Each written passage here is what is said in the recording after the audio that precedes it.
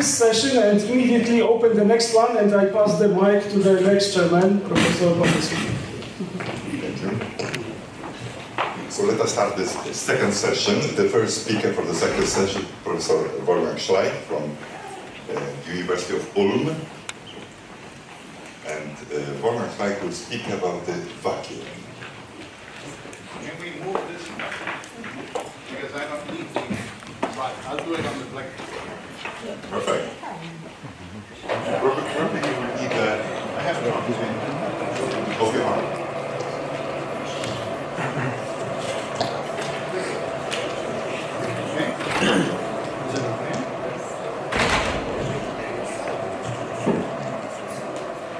Okay. Can you hear me? The, uh, so let me get started by thanking the organizers uh, for making not only this meeting possible, but also for giving me a chance to be here and say thanks to Ivo, to Sophie, to Ivana for many years of friendship. And I will tell you in a minute how we met and how all this started. Uh, and I hope that the distinguished chairman will give me a few extra minutes for that. nice try, right? so again, I'm asking if you can hear me. And I tell you a funny story. When I was at the Max Planck, and I, I know uh, he was also at the Max Planck at the time, I was a young Privatdozent, and Professor Walther, the director of the institute, he was a very busy man running from conference to conference. Sometimes we were giving talks at the same conference, and he would never listen to my talk. But then when he retired, he had a little bit more time, and he would listen to my talks. And he would come later on and say, hey Schleich, I really liked your talk.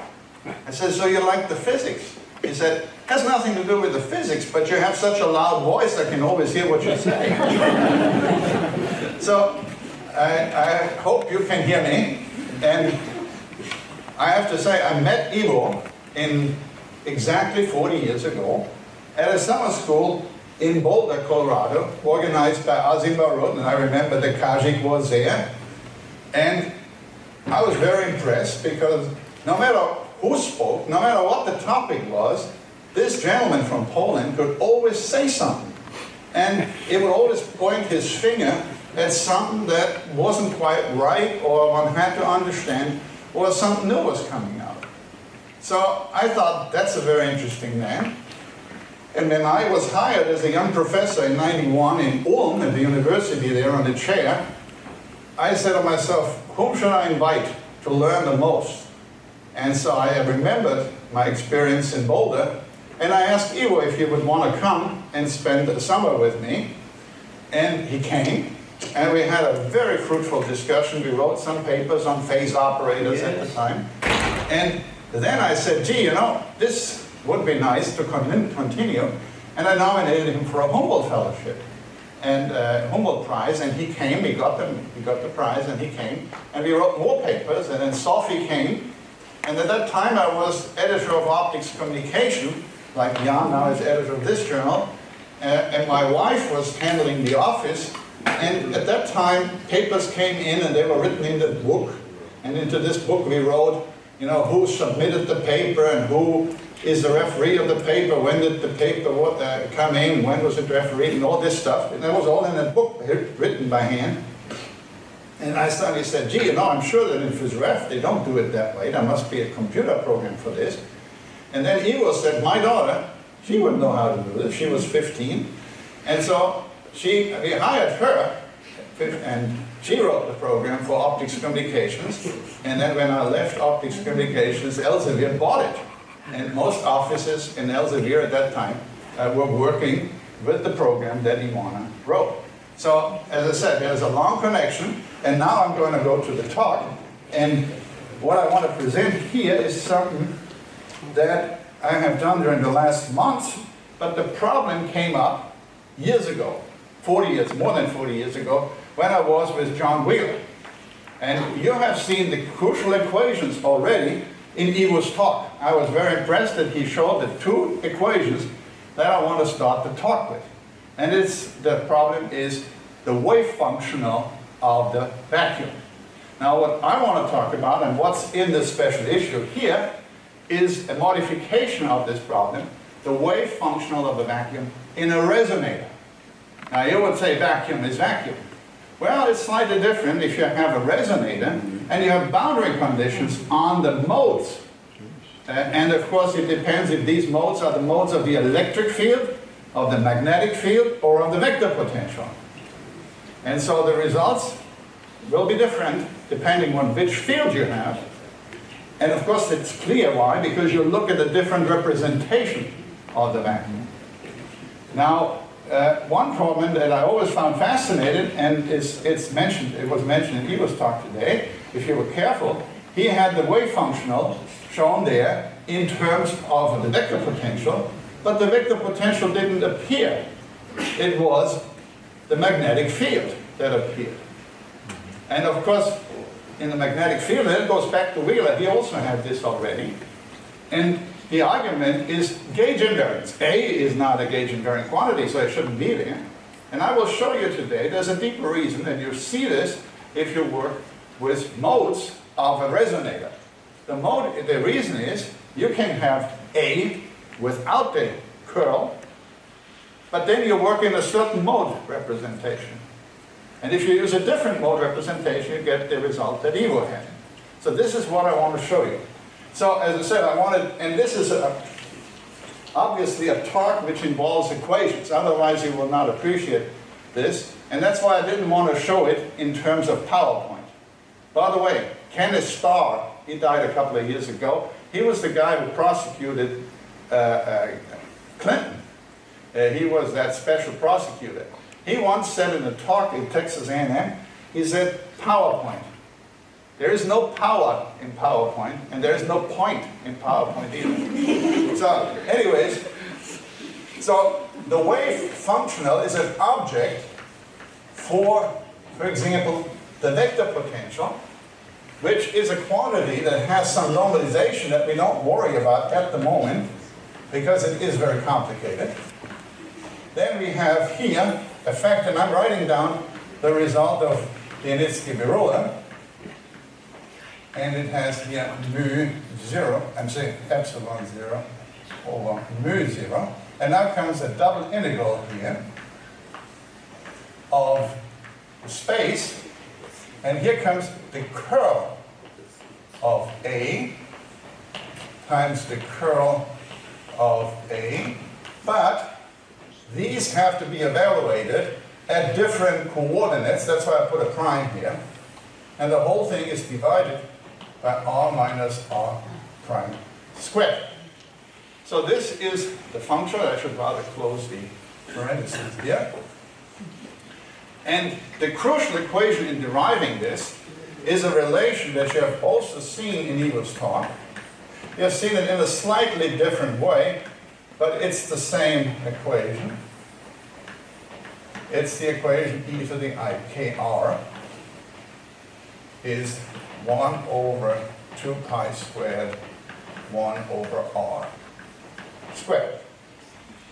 So these are the two equations that you have seen, and the key thing is that this expression has a, but on the right-hand side it has the curl of a, and it has this r minus r prime squared. Now, why are we doing this? What does it mean? What does this quantity mean? Usually, when we do quantization of the radiation field, then we decompose the field, either the E field, the B field, the A field, into modes. And then we quantize every mode as a harmonic oscillator. Now, this procedure here does not refer to modes anymore once it's written down. This is, some, somehow, or something like the wave function of the vacuum in this representation, without referring to modes. But of course it is the representation of the vacuum, the ground state of every single oscillator of this mode representation. Now, you can calculate quantities with this, but nevertheless, it's a nice eh, result. Ivo has done a lot of work, and he mentioned that he has calculated the Wigner function for this quantity. And so I was, as I said, always fascinated by this quantity. But I asked myself, now let's do this for a resonator, where we have boundary conditions, and the modes are not plane waves in which there is a simple relation between the integration over the modes, which is the wave vector now, and the frequency. It's a very complicated relation now because it's the boundary conditions that fix the frequency in these resonators. And so what I want to show you is an expression, that's what I'm trying to derive, or at least motivate, that looks very similar to this expression. And it has a, has a constant here. And then almost the same integral that Ivo has. And it is f and of r times the kernel. And I put here Hermitian conjugate to indicate that we don't have a column vector, but rather a row vector that multiplies a matrix. And I shouldn't have, I was so tempted in, in writing it. So here's a kernel times f, and this is now evaluated at r prime. And again, we close this parenthesis, and this F here is either the vector potential, or the electric field, or the magnetic induction. Now the kernel that I have written down is, as I said, a matrix, and the matrix comes by having a function f taking the square root of the Laplacian acting on a transverse delta function of r minus r prime. And the function f is either x for a, for the vector potential, or it is 1 over x for e and b. So let me get, uh, and this is the main result. That's why I started the talk, so I can at least show you what it is that we did. And when I said we did, it was a graduate student of mine, Alexander Friedrich. It was Daniela Moll, who was a student of mine many years ago. Uh, uh, and then Matthias Freyberger. And uh, Matthias's first paper was with Ivo when he was visiting us. And Lev Plimak. Now, uh, and you find this in the, in the special issue. So What's the difference? What's the similarities in these expressions? Well, you notice that if you would take A here, this would be bilinear in A. It would not like what Ivo and what Wheeler said, bilinear in curl of A. You notice that the K is a matrix. It is not a scalar, as case. It is a matrix. And here you see the kernel is 1 over r squared, It has to do with this relation here. On the other hand, and also you get here a delta function. And you see, we can do all three cases if we keep track of this 1 over x and x. And now the question is, where all this coming from? So let me go back and remind myself in your presence about modes.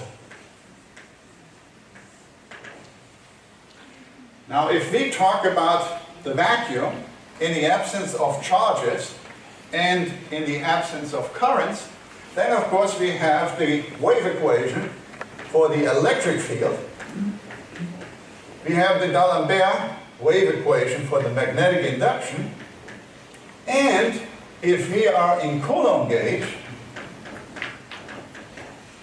then we are going to be having an equation for A equal to zero. These only rely on the fact that we have no currents and no charges. This one relies on the fact that we also have a gauge condition. Now, usually we expand this in terms of eigenmodes of the Helmholtz equation. So we have something like the Laplacian plus the wave vector acting on the mode function is equal to zero. And then we calculate, and what are the boundary conditions? The boundary conditions are usually set by the electric field at the boundaries, So the mode functions here that we use are usually in terms of u.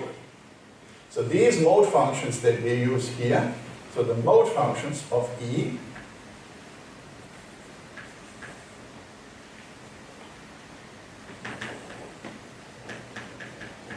are usually used, namely the mode functions that come out of here. Now, we have also boundary conditions on B. And these boundary conditions are usually not nicely done in terms of U, but in a different form of U, namely the mode functions of B are usually, I write them as 1 over KL curl of UL. So these are different mode functions. So you can interpret them, and because this is, of course, a Hermite Laplacian, is a Hermitian operator. So as a result, first of all, these mode functions are complete, and they have eigenvalues because of the Laplacian that are always positive. That's why I can write it here as k squared. And so I have three different mode functions if you want. Two of them are identical. I have the mode function u. I have the mode function, I sometimes call this VL, to just say this is that they're the same. And then I have these mode functions. Now, for this reason, I can expand either A, E, or B in terms of these modes, and I call this FL times the mode function FL of R. And these FL are either the U's, the V's, which are identical, or these mode functions, depending on which field I use. And these are the fields, individual modes. These are the modes that eventually, these are the fields that I will eventually quantize. Now, what's important for this analysis and for this result is to understand that since these modes are uh, orthogonal, since they come out of these eigenvalue equation, of course, mode functions that correspond to different eigenvalues must be orthogonal. So, we have an orthogonality relation, or I could rather even say an orthonormality relation, FL of R times F L prime of R, delta L prime, and I have a volume here because I want to keep, make sure these are dimensionless mode functions. So all the physics and all the physical quantities sit in the FL, and this is a dimensionless quantity, so if I integrate over it, I will be left with a volume. And this is the volume I'm putting in. And then, of course, and that's the most important part, there exists a completeness relation. And the completeness relation is now over FL at R,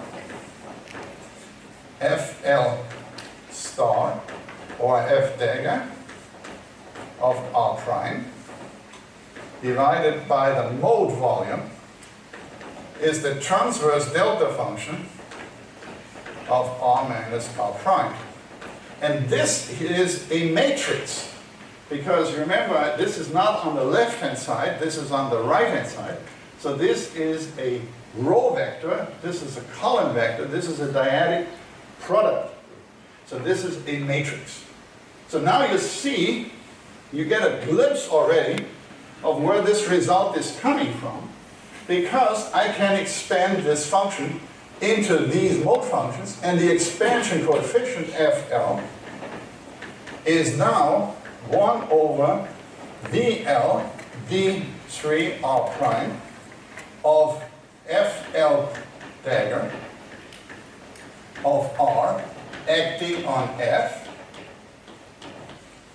That because that I get immediately if I go with F dagger F, F dagger on this one, I use the orthonormality, I get the coefficient. and because the F's are Hermitian, I can also find another representation of this expression, and this would have been F times FL of R prime. Let me put this here. No, this is good. FL of R. And this is F dagger now. So these are two representations of the F. Now, third chapter, and I have about five minutes left, I think. Is that true? And so then the next step. Five minutes. Well, I would have appreciated if you wouldn't have answered. Quantization. Quantization. We are going to take and put the F with an operator, so we're making the FL to operators. And of course, the space part is not influenced. And as a result, what I will get now is, of course, I can define in each mode eigenstates of that operator. As I said, this could be eigenstates of E, of B, of A, and these are the eigenstates.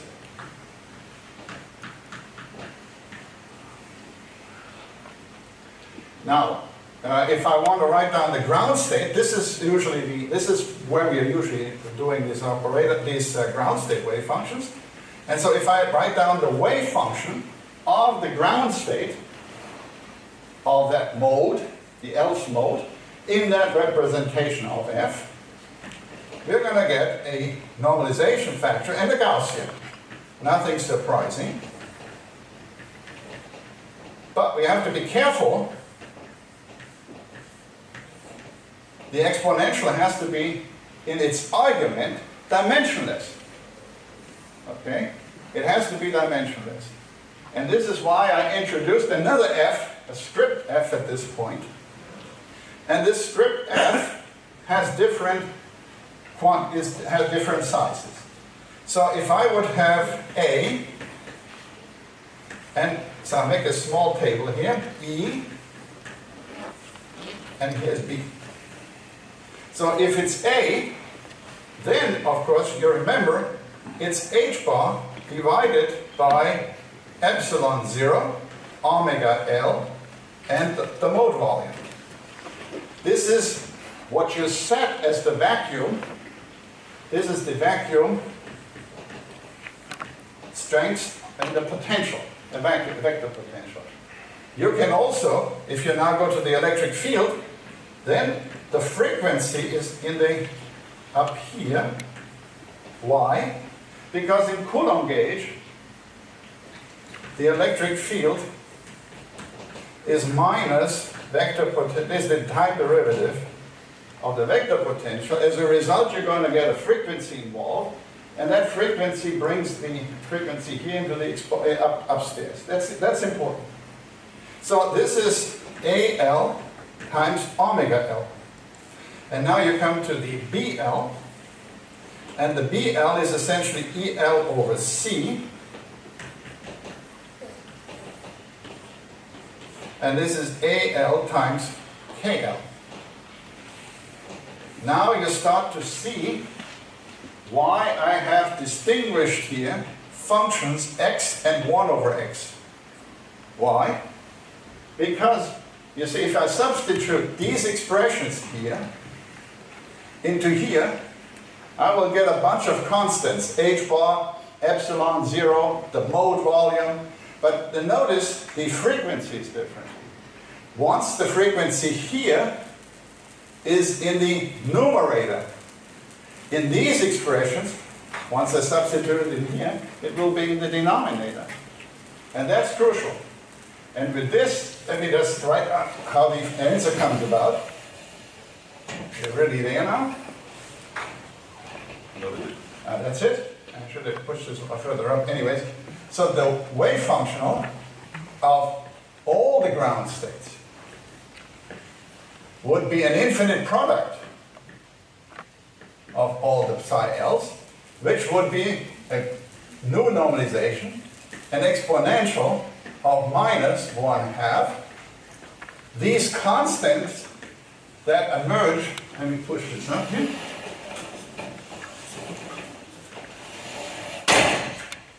So these constants that h by epsilon 0 mode volume, and then we have the so-called mode, which I call the mode sum, and that would have the FL, and then we have here FL squared times the mode volume. So that's what I get if I multiply all the Gaussians that you have there, substitute these constants into there, and because the omega appears differently in A, E, and B, I have to be careful at this point. Now, how do I go from here and to get the answer that I have in the center here? How do I get from here? Well, all I have to do is substitute for this expression here, for the FL, for the expansion coefficients, I substitute these representations. And you notice this is the mode function, that's the function f, and somehow, immediately I'll see, I just represent that, what I'll get is a new sum of 1 of FL of KL times 1 over the mode volume FL of R, FL of R prime, dagger. And how do I sum this? This is now what the mode sum is. Now, it, it's, it's, and of course there are integrals. But, and then there is F here. And here is F. Okay, so, so the, this expression here has to be calculated. That's the kernel. That's the kernel. So how do I get this, how do I perform this sum? I mean, that's why I said it, it, there's a complicated dependence on the frequency of the wave vectors on L, the mode summation. So how do you perform this sum? And there's the mode volume involved and this crazy function. Well, that's very simple you go back to this very equation up here, where I have the, this expression here, because the mode function satisfies Laplace plus KL squared times FL equal to zero. So as a result, you can say KL squared times FL is equal to minus the Laplacian of FL of R. And of course I can take now, since these are eigenfunctions of this operator, I can take roots and everything, and then you see this f of KL is nothing else but f of the negative Laplacian to the power 1 half. And now you're finished. Now you have really seen that because of the completeness relation, I have taken the f out, the rest is the completeness relation, and I arrive at this result. Last remark, how do I get back to Ivo?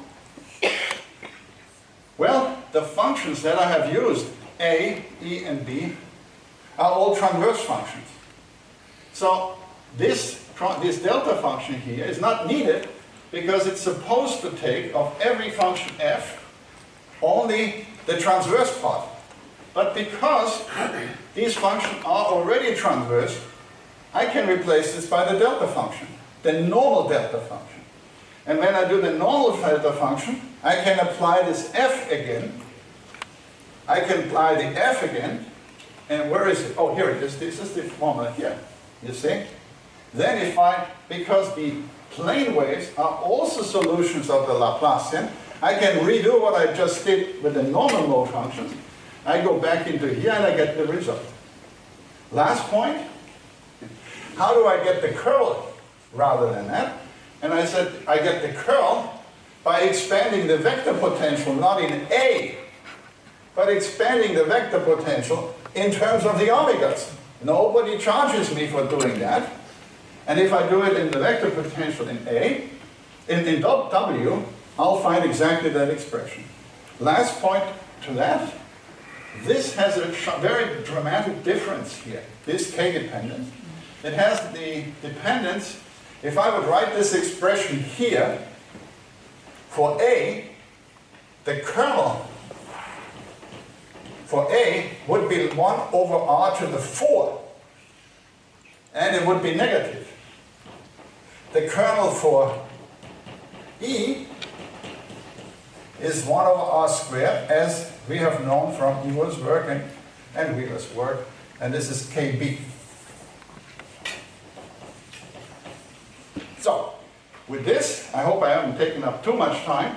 I thank you very much for inviting me, for allowing me to present this work here, as I said, which was really motivated by many discussions I've had with Ivo, and I look forward to questions. Thank you. We probably don't have too much questions, but let, let me first ask the question or comment. Would it be interesting to formulate uh, this vacuum um, uh, to, to, to formulate this uh, vacuum as a um, Lorentz invariant state? That would certainly be interesting. But I tell you, but I tell you what Not I in the found. Of course, not. But it's, in the- it's It's not in the resonance. Not in the no, I mean resonance, the, in the that's- original Yeah, form. yeah, let me go back to Ivo's work. But I tell you why I was interested, again, why am I interested? That has more to do with what you're working on, the Lamb shift. Okay, I was always fascinated, and of course you, you, you wouldn't think that this is that interesting because you've done wonderful calculations to many orders. But I would go back to the Welton picture. And in the old Welton picture, there was this sum over all modes. And once you've done the sum over modes, you get the Bethe logarithm. But I always wondered, wouldn't it be possible to use these expressions? Because if they are not in the modes anymore. Okay, so maybe one can just redo this calculation now in this formalism without the modes. Because you have to do the trace over the modes anyways. Anyways, but I, I'll, I'll leave that. I will keep this. Yeah. Thank you for the comment. Uh, short questions? Please.